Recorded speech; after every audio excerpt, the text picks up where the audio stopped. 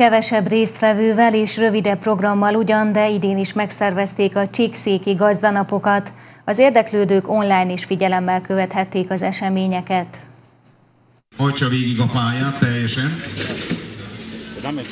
Az eredménye az sajnos nem értékelhető. Verseny közbeni hátrafelé haladás kizárással jár, mondja a bíró a Csíkszent Simoni Szekeres ügyességi versenyen. Ennek a fogatnak el kell hagynia a pályát, vigasztalásként emléklapot kap. Márton Szabolcs és Balog Norbert, nekik szóljon a bajnokok dala.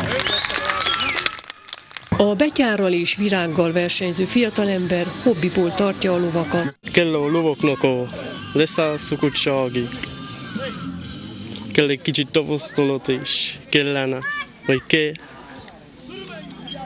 Honnan van a tapasztalat? Úgyhogy három évvel ezelőtt így kizártak, és aztán megtapasztaltam, hogy oda kell figyelni az akadályokra. Tájékoztatom az érdeklődőket.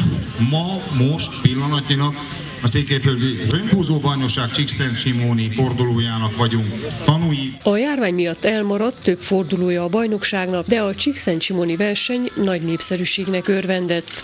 A győzelemhez pedig sok minden kell. Elsősorban ló, ami megfelelő hogyha ezeknek az erőnek a kifejtésére, akkor második sorrendben felszerelés, és utána izé, sok kitartás.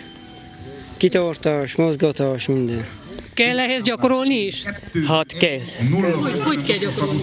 Hát otthon, amivel tud az ember, hogy a ne puhuljanak ki.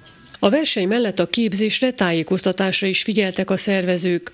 A Székelyföldi Falugazdász Hálózat munkatársai tevékenységüket ismertették, és kiadványokkal, tájékoztatókkal látták el a gazdákat a gazdanapokon kialakított standon. Szakágazatokra vagyunk lebontva, emellett még területi lefedettségeink vannak, mindenki felel a szakágáit, meg a területiért, így próbáljuk lefödni, ezért elég széles a paletta, jó magam állatorvos vagyok, köztünk vannak agrármérnökök, termelésben dolgozó feldolgozás, aki ilyen vidékfejlesztők, meg minden. A Csíkszent Simoni verseny nyertesei a térséget fogják képviselni a Gyergyó Szent Miklóson sorra kerülő döntőn október 10-én.